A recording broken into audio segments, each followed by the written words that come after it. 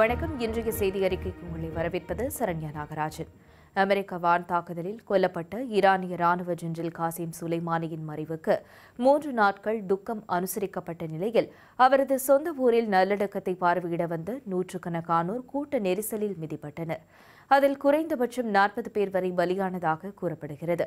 இதற்கிடையே ஈராக்கில் இருந்து அமெரிக்க படையினர் வெளியேறுவது தொடர்பாக ஒரு கடிதம் கசிந்த நிலையில் அந்த தகவலை அமெரிக்கா மறுத்துள்ளது. தேசிய நாயகனாக போற்றப்பட்ட ஈரானிய ராணுவ தளபதியின் மரணத்துக்காக இந்த மக்கள் வெள்ளம் துக்கம் அனுசரிக்கிறது. ஜெனரல் காசிம் சுலைமானியின் சொந்த ஊரான கெர்மானில் நல்லடக்கத்தை பார்வையிட லட்சக்கணக்கானோர் திரண்டார்கள். மத்திய கிழக்கு மீதான ஈரானிய கொள்கைகளின் மூளையாக இருந்தவரின் மரணம் பதிலடி அச்சுறுத்தலையும் பழிவாங்கும் உணர்வையும் தூண்டியுள்ளது. சிந்திய ரத்தத்துக்கு பழிவாங்கும் ஷியா பாரம்பரிய அடையாளமாக வீதிகளில் திரண்ட கூட்டம் செங்கொடியை அசைத்தவாறு இருந்தது. அந்த உணர்ச்சியை ஈரானிய வெளியுறவு அமைச்சர் ஜவாத் ஜாரிஃப் எதிரொலித்தார். சரியான நேரம் மற்றும் இடத்தில் நிச்சயமாக நாங்கள் உறுதியாக பழிக்கு பழி வாங்குவோம்.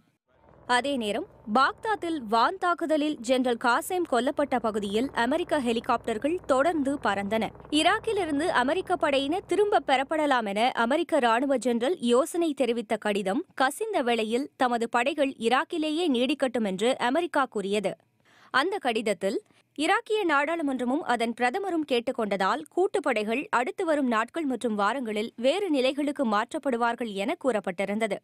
அமெரிக்க படையினர் தங்கள் நாட்டிலிருந்து வெளியேற வேண்டுமென்று ஈராக்கிய எம்பிக்கள் வலியுறுத்திய நிலையில் கசிந்த கடிதம் உண்மையானதுதான் என அமெரிக்க அரசு அதிகாரிகள் கூறியுள்ளனர். ஆனால் தலைநகரில் பாதுகாப்பு வழங்கிய அமெரிக்க படையினர் வேறு இடங்களுக்கு மாற்றப்படுவார்கள் என்றுதான் அதில் விளக்கப்பட்டுள்ளது என்றும் அவர்கள் திரும்ப பெறப்படவில்லை என்றும் அமெரிக்க அதிகாரிகள் தெரிவித்தனர். அமெரிக்க பாதுகாப்புத்துறை செயலாளர் மார்க் எஸ்பர் செய்தியாளர்களிடம் பேசும்போதும் படையினர் வெளியேறுவது தொடர்பாக எந்த முடிவும் எடுக்கப்படவில்லை என்று தெரிவித்தார். இதேவேளை ஈரானிய நாடாளுமன்றத்தில் அனைத்து அமெரிக்க படையினரையும் பயங்கரவாதிகள் என்று அறிவிக்கும் மசோதாவை நிறைவேற்ற ஆதரவாக எம்பிக்கள் வாக்களித்தார்கள். எதிரிக்கு மிகவும் ஆபத்தானவராக ஒரு உயரதிகாரியால் முன்பு விவரிக்கப்பட்டவர் இப்போது உயிருடன் இல்லை. அவரது படங்களை ஏந்தியவாறு மக்கள் அஞ்சலி செலுத்துகிறார்கள். ஆஸ்திரேலியாவில் மாதக்கணக்கில் நீடித்து வரும் காட்டுத்தீ நெருக்கடியால் தென்கிழக்கு பகுதியில் கிட்டத்தட்ட இரண்டாயிரம் வீடுகள் தீக்கிரையாகியுள்ளன. அங்குள்ள நியூ சவுத் வேல்ஸ் விக்டோரியா ஆகிய மாகாணங்களில் பரவலாக ஏற்பட்ட காட்டுத்தீ மிகப்பெரியதாக உருப்பெறும் நிலை உள்ளது. இந்த நிலையில் உயிரை பொருட்படுத்தாமல் காட்டுத்தீயை அணைக்கும் தன்னார்வலர் தமது பணியின் அனுபவத்தை பிபிசியிடம் பகிர்ந்து கொண்டார். It's தோற்போம் என தெரிந்தும் கடுமையான காட்டுத்தீயை கட்டுப்படுத்த போராடி வருகிறோம். அதில் சில தற்போது மிகப்பெரியதாக உருவெடுத்துள்ளன. இயன்றவரை வீடுகளையும் அதில் வாழ்பவர்களையும் உயிரிழப்புகளின்றி பாதுகாக்க வேண்டும். இதை பார்க்கும்போது மிகவும் வருத்தமாக உள்ளது. என்னால் இயன்ற அனைத்தையும் செய்கிறேன். இதற்கு மேல் செய்ய ஏதுமில்லை. ட்ரிஸ்டான் லீஸ் இருபது ஆண்டுகளுக்கு மேலாக தீ தடுப்பு தன்னார்வலராக பணியாற்றி வருகிறார். சுய தியாகம் இவரது குடும்பத்தோடு கலந்தது. மறைந்த இவரது தந்தை தாய் சகோதரர் என அனைவரும் இதே பணியை ஆற்றியிருக்கிறார்கள். தற்போதைய நெருக்கடி இவருக்கு ஒரு கடுமையான சோதனை காலம். Terrible. Very terrible. மிகவும் மோசமானது. எனது இருபத்தி ஓரு ஆண்டுகால சேவையில் இவ்வளவு மோசமான தீயை பார்த்ததில்லை. தேவை எழும்போது உதவிக்கு செல்ல முடியாததை நினைத்து குற்ற உணர்வு ஏற்படுவதாக கூறும் இவருக்கு பகலில் செய்யும் வேலை மூலம் வருவாய் கிடைக்கிறது. நாம் பார்க்கும் இந்த காணொளியில் காட்டுத் தீயை கட்டுப்படுத்தும் திகில் நிறைந்த காட்சிகள் உள்ளன. வாகனத்தில் தீயணைப்பு வீரர்கள் சிக்கியிருந்தனர். அனைவரும் உயிர் பிழைத்தனர். ஆனால் வெப்பமான காலகட்டத்தில் தன்னார்வ தீயணைப்பு வீரர்கள் இறக்கும் வேளையில் காட்டுத்தீ இன்னும் எரிந்து கொண்டிருக்கிறது.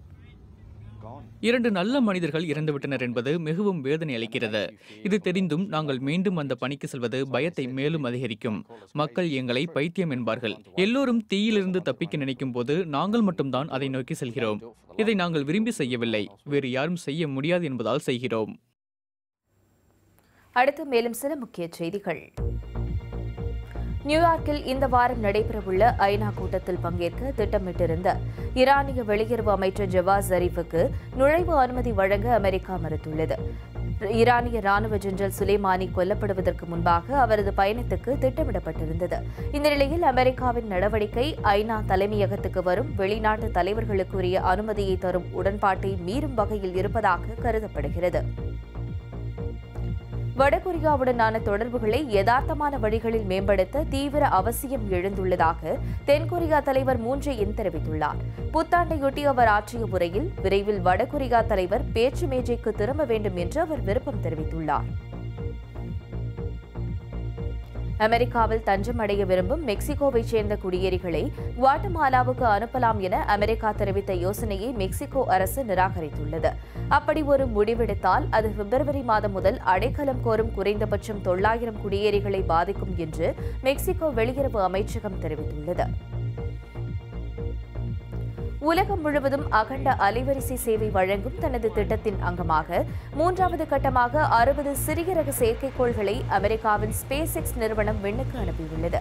அந்த செயற்கைக்கோள்கள் அடங்கிய ஃபால்கோன் ஒன்பது ரக ராக்கெட் புளோரிடாவின் கேப் கனவராலில் இருந்து ஏவப்பட்டுள்ளது. இளம்பருவத்தில் அடிப்படை வசதிகள் இன்றி அலட்சியப்படுத்தப்படும் சிறார்களின் மூளை அமைப்பு எதிர்காலத்தில் சுருங்கும் நிலைக்கு செல்லலாம் என்று லண்டன் கிங்ஸ் கல்லூரியைச் சேர்ந்த ஆராய்ச்சியாளர்கள் நடத்திய ஆய்வில் தெரியவந்துள்ளது. பிரிட்டனில் தத்தெடுக்கப்படுவதற்கு முன்பு ருமேனியாவில் பாதிக்கப்பட்டிருந்த அறுபத்தி ஏழு பேரிடம் இதற்கான ஆய்வு நடத்தப்பட்டது. மகள்களின் ஜடை அலங்காரத்தை மேற்கொள்ள விரும்பும் தந்தையரின் விருப்பத்தை நிறைவேற்ற பிரிட்டனில் ஒரு பள்ளி இயங்கி வருகிறது. இங்கு ஒவ்வொரு மாதமும் கூடும் தந்தையர் புதிய உத்திகளை கற்றுக்கொண்டு மகள்களின் சிகை அலங்காரத்துக்கு உதவி வருவதை அறிந்து அவர்களை பிபிசி சந்தித்தது இது தந்தைகளுக்கான சிகை அலங்கார பயிற்சி பள்ளி. தங்களின் மகளுக்கு தலைவார்வது பின்னல் போடுவது எப்படி என இங்கு பயிற்றுவிக்கப்படுகிறது. பிரபல கார்ட்டூன் கதாபாத்திரமான யூனிகார்னை கருப்பொருளாக கொண்ட பார்ட்டியில் எனது நான்கு வயது மகள் கலந்து கொண்டாள். அதில் எல்லா சிறுமிகளுக்கும் அந்த கதாபாத்திரம் போல் மரியா சிகை அலங்காரம் செய்தார். அப்போதுதான் எனது மகளை அள வைக்காமல் அவளுக்காக சிகை அலங்காரம் செய்ய கற்றுக்கொள்ள வேண்டும் என நினைத்தேன். The men's come with the children. மகள்களுடன் இங்கு வரும் தந்தைமார்களுக்கு முதலில் எளிமையான சிகை அலங்காரம் செய்ய கற்றுத்தருவோம். பிறகு பிரெஞ்சு மற்றும் டச்சு வகை ஜடை பின்ன சொல்லிக் கொடுப்போம். குழந்தைகள் அதை விரும்புகிறார்கள். உன் சிகை அலங்காரம் அழகாக உள்ளதே உன் அம்மா செய்தாரா? என்று தங்களின் பள்ளி ஆசிரியர் கேட்டபோது தந்தை செய்தார் என பதிலளித்ததாக அவர்கள் கூறுவார்கள். We're not the same dads. மரியாவை பார்த்தது முதல் பழைய தந்தை போல நான் இல்லை. எல்லா தந்தைகளுக்கும் இது போலத்தான் என்று நினைக்கிறேன். எனது மகளின் திருமணத்தின் போது அவளுக்கு சிகை அலங்காரம் செய்ய வேண்டும் என்பது எனது மிகப்பெரிய கனவு. இங்கு வருவதால் நட்பு கிடைக்கிறது. புதிய திறனை கற்க முடிகிறது. மகள்களுடன் சிறப்பான முறையில் அதிக நேரம் செலவிட ஒரு தந்தையால் முடிகிறது என்பதால் இதை மதிப்பு மிக்கதாக கருதுகிறேன்.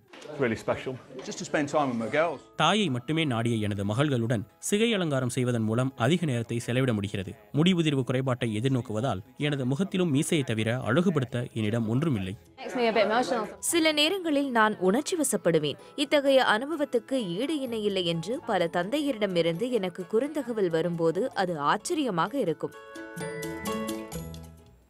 நிறைவாக உலகின் முன்னணி ஆடம்பர கார் தயாரிப்பு நிறுவனம் விற்பனையில் படைத்த சாதனையை பார்க்கலாம். பிரிட்டனைச் சேர்ந்த ரோல்ஸ் ராய்ஸ் கார் நிறுவனம் கடந்த ஆண்டில் மட்டும் ஐந்தாயிரத்து நூறு கார்களை விற்பனை செய்துள்ளது. தனது நூற்று பதினாறு ஆண்டு கால வரலாற்றில் இந்த அளவுக்கு விற்பனை அதிகரித்துள்ளது. இதுவே முதல் முறையாகும். ஜெர்மன் கார் தயாரிப்பாளரான பிஎம்டபிள்யூ நிறுவனம் நடத்தி வரும் ரோல்ஸ் ராய்ஸ் ஐம்பதுக்கும் அதிகமான நாடுகளில் விற்பனையாகி வருகிறது. இத்துடன் இன்றைய நிகழ்ச்சி நிறைவடைகிறது. இங்கே பிபிசி உலக செய்தி அறையிலிருந்து நாளை மற்றும் ஒரு நிகழ்ச்சியில் சர்வதேச செய்திகளுடன் உங்களை வந்து சந்திக்கும் வரை வணக்கம் நேயர்களே.